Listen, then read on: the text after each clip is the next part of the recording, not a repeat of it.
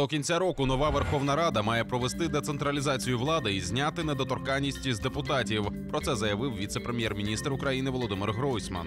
Нагадаємо, новий парламент вперше збереться 17 грудня. Скасувати депутатську недоторканність на словах готові всі новообрані депутати.